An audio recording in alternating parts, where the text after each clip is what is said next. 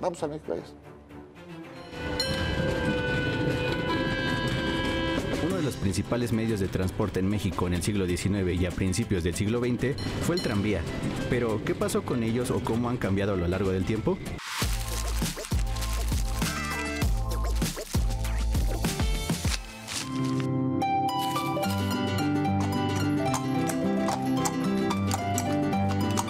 Tranvías no funcionaban con energía, sino que eran jalados por caballos o mulas.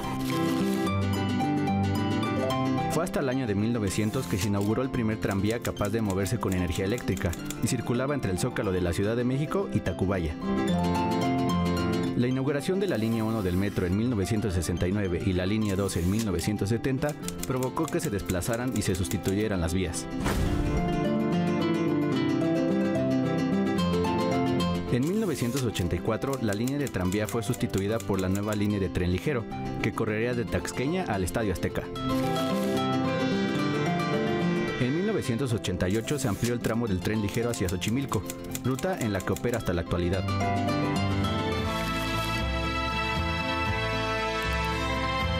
Esta es una de las muchas cosas que han cambiado en el México de ayer, el de hoy, el de siempre.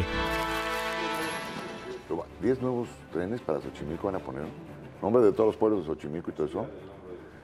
¿Sabe qué? Sí me urge que pongan trenes en México. Tenemos grandes vías, pero no le dio tal cambio nunca. Vienen desde Porfirio Díaz. Y Europa se levantó cuando metieron trenes de pasajeros. ¿Qué esperamos? Hay que copiar también lo bueno.